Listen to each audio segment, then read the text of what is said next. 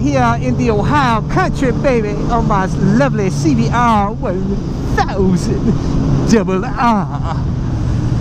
Good times, baby. But anyways, five mistakes that I see bikers make when it comes to motorcycle gear. Let's go for a ride.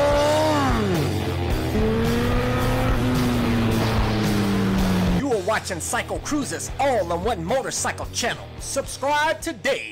Number one is that a lot of riders get a helmet too big. You know, where it looks like they got a big old bobblehead, looking like Charlie Charles, all head, no body. you know why? Because a lot of people, they put on a helmet like their correct size and they, they think it's, it's too tight. So like, dude, I gotta get like a couple sizes bigger so it feels comfortable. That's the worst thing you can do, man. Whatever you do, when don't go to, you know, when you go to the online retailers like Revzilla or whatever, Amazon, and you read the comments and they say, get a, a this helmet runs small or runs big. Don't listen to that talk, guys. Do not get a helmet like a size or two sizes bigger. Measure the crown of your head with measuring tape and go by the chart for that particular helmet. Yes, when you get the helmet, it will be tight when you first get it. It will be uncomfortable, but it will break in, I promise you, after a couple of weeks. You know, I tell you, my Suomy MX Tour helmet, that is probably the tightest helmet I've ever had, ever. But it took a while. It took a good month to break in, but man, when it broke in, it fits like a glove now. But I tell you, in the past, I was one of those guys that listened to the commenters and, and said to get the helmet a size or two bigger. Uh, I used to wear my head, head size is like a, a 58 millimeters and so it's a size medium in most brands. And I used to get like an extra large or a double extra large. And then yeah it fits great when you first put it on. And then afterwards it's all rocking all around your head. It's you don't want to you know that that'll compromise your safety to have a helmet that's too big. So that's the number one mistake that I see people make. Get the size go to pay attention to the sizing chart for the helmet and that's it. Don't listen to these busters out there. Number two is I see that motorcycle riders don't wear motorcycle pants. I see a lot of you will wear your helmet you wear your jacket gloves uh, but you won't get pants or boots. And these are probably two of the most important pieces of gear that you can get for motorcycle gear because I'll tell you guys if you go down your legs will take a beating. I'm telling you listen to me.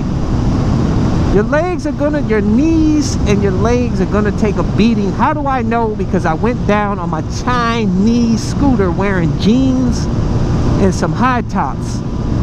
And I'll tell you guys that my knees luckily I didn't get any damage or anything but my knees got scraped up pretty good and I had a huge bruise on the side of my leg. Could have been a lot worse. After that I got motorcycle pants dude. Get motorcycle pants I'll tell you. Number three. When you do buy a motorcycle jacket I see a lot of bikers will not upgrade the back protector in the jacket. Usually the jackets come with this sorry flimsy foam back protectors which it, it doesn't protect nothing. It's really just a cushion. You want a CE level 2 back protector upgrade. And if you like places like uh, Revzilla, they'll actually recommend the back protector for that particular jacket. Like this jacket that I have, this AGV Sport Corsa jacket, and also the Dragon jacket, it takes, there's only one CE level 2 uh, back protector that you can upgrade this jacket to. But you definitely want to do that because I highly recommend, and if you can't upgrade uh, the back protector in that particular jacket or the jacket doesn't have a back protector, definitely buy one that you can wear underneath that has straps that you can wear underneath the jacket because I'll tell you guys, your spine is priceless. You don't want to mess up your back, man. I tell you. You mess your back up, dude, there's no coming back. That's it. It's over, man. You're going to have pain and suffering and you're going to there's going to be problems from there on out.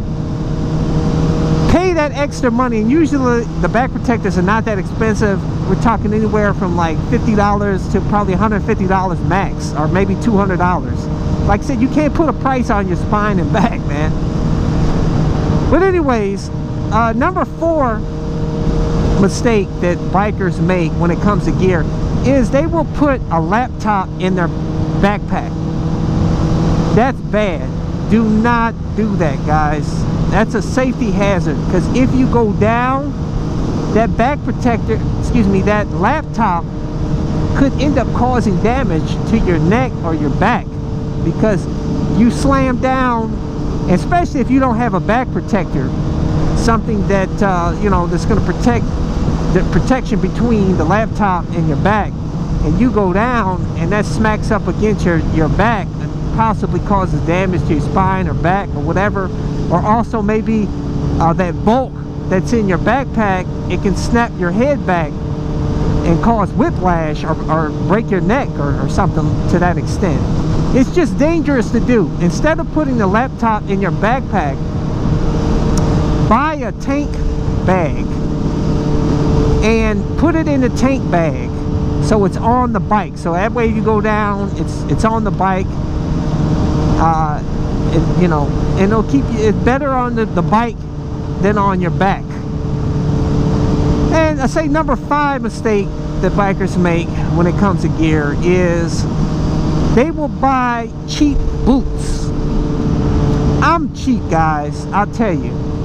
But I learned my lesson when it comes to cheap gear. But I'll tell you, when it comes to boots, you get cheap boots, most of the time, they will only last probably about a year.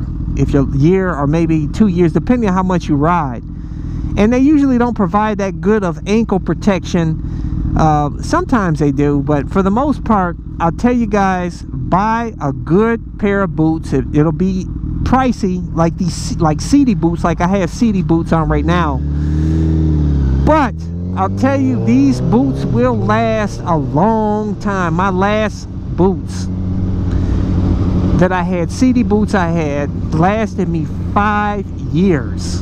I just retired those boots. The zipper broke on them.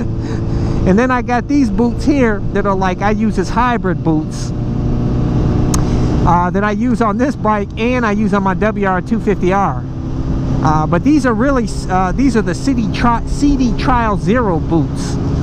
Uh, these are really for like trials, uh, you know, but it can be used for street and off-road. And it's not too uncomfortable like, uh, you know, straight up off-road boots. So that's why I wear them for both bikes. Because, you know, I'll switch up between bikes often in the same day and I don't feel like going home and changing boots. So it's nice to have a boot, a hybrid boot that I can wear with both bikes.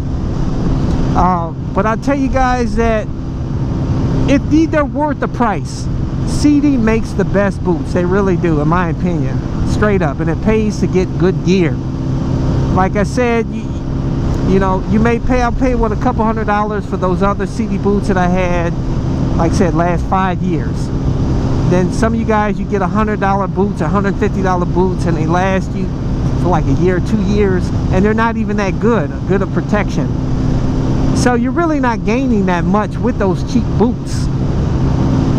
By the way, I'll include links to all of the gear that I have, my boots, my camo pants, helmet, everything, in the description and comment section of this video or go to my website at cyclecruza.com and click on the menu tab my gear and those are current links to all of my gear even my camera stuff and everything and uh, if you want to see more of my videos click on the menu tab my videos. And all my videos are categorized in a various playlists to make it easier for you to navigate through my nearly over a thousand videos now.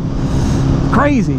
But anyways hit thumbs up if you like this video. It really helps me get motivated when you hit the thumbs up. It helps my channel helps me get motivated. And I appreciate it. I appreciate all you guys. I wish you guys all the best. Wear gear. Don't be a squid out here on the streets, man. The squids you see out here on the streets, they never went down before. And I tell you guys, they, they a lot of people have to learn the hard way. Don't be like them and be hard-headed and have to learn the hard way. But anyways, uh, hey, subscribe to my all-in-one motorcycle channel. I appreciate all you guys. Take care. Until next time.